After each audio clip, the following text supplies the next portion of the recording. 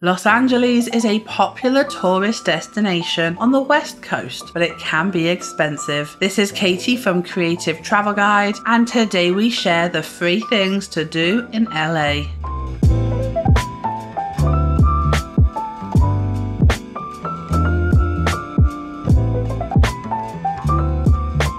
Looking for more travel tips? Make sure to hit subscribe and ring that notification bell. So, first we have Venice Boardwalk, lined with palm trees, shops, and restaurants. A walk along the Venice Beach Boardwalk is a must. Watch the street performers, look at the street art, take plenty of photos, and catch a sunset, all without spending a penny.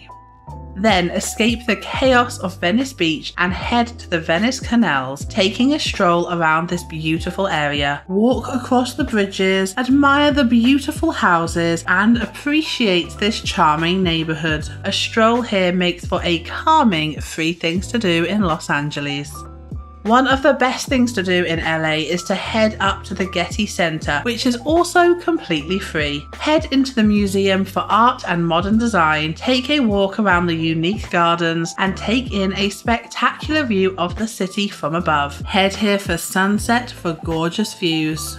Then we have Getty Villa. The lesser known Getty Villa is also a free attraction that should be explored whilst you're in the city. Displaying around 1,200 artifacts, with some dating back to 6,500 BC, this villa is a hidden gem. Just make sure to reserve your free ticket in advance.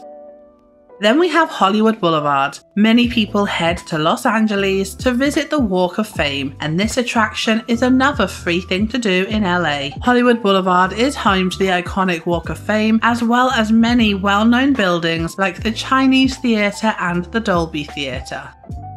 West of downtown Los Angeles is the popular Santa Monica Pier, and visiting the pier itself is free. If you do want to jump on the rides, you can get an unlimited wristband or pay for individual rides. Whilst the aquarium is a paid attraction, you could save money on admission by purchasing the Go City Los Angeles Pass. This also includes over 42 attractions in LA, such as Legoland, Knott's Berry Farm, Warner Brothers Studio Tour, and a Hollywood sign tour.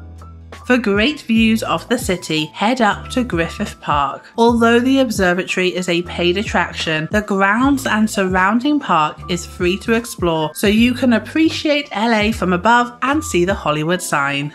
Then we have the California Science Center. This is a free museum in Exposition Park. Here you can find Endeavour, the final rocket to be built in NASA's Space Shuttle program, as well as a World of Life exhibit that looks at life on Earth, a creative world exhibit, and more.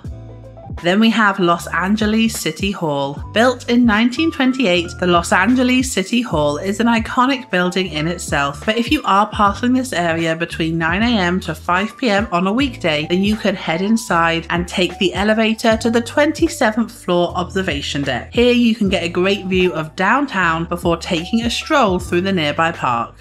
Another three thing to do in and around Los Angeles is to visit the beaches. Of course, beaches are completely free, and luckily for those traveling on a budget, LA County has quite a few to choose from. Some beaches are near the sightseeing bus stops, whilst others, like the Will Rogers State Beach or Malibu Beach, have free or affordable parking within a 15 minute walk from the beach itself.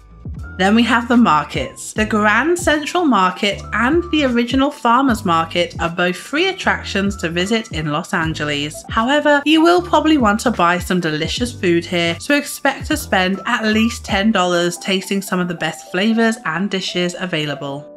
LA isn't known for being a walkable destination, but there are areas and neighborhoods that can be explored on foot. The GPS My City app offers free trials, so download the app whilst you're in the city and try out one of their self guided itineraries, which include walks around downtown LA, Hollywood Boulevard, Chinatown, and Little Tokyo. We will leave the link in the description below. Then we have the Hollywood Bowl. The iconic venue can be found inside a county park, which is free to enter as long as there are no events happening at the time. Hike around the county park or walk around the theatre space. Then we have the Broad Museum. This contemporary art museum is a free museum in the city and is a unique place to visit. With artworks from Andy Warhol and Kara Walker, there is plenty to see here. Also, make sure to visit the popular exhibit, the Infinity Mirror Room, named The Souls of Millions of Light Years Away. And finally, you should visit the Old LA Zoo. Found in the middle of Griffith Park is the Old LA Zoo. It is a great spot for taking a stroll, hiking, and photo shoots. It has even been used in movies. This is an abandoned zoo, so don't expect any animals here, but for budding photographers, this is a great hidden gem to explore. Watch this video to find out the things to know before you go to Los Angeles. Then, to learn about the 10 best things to do in Los Angeles, watch this video. We hope you have a fantastic time and stay creative.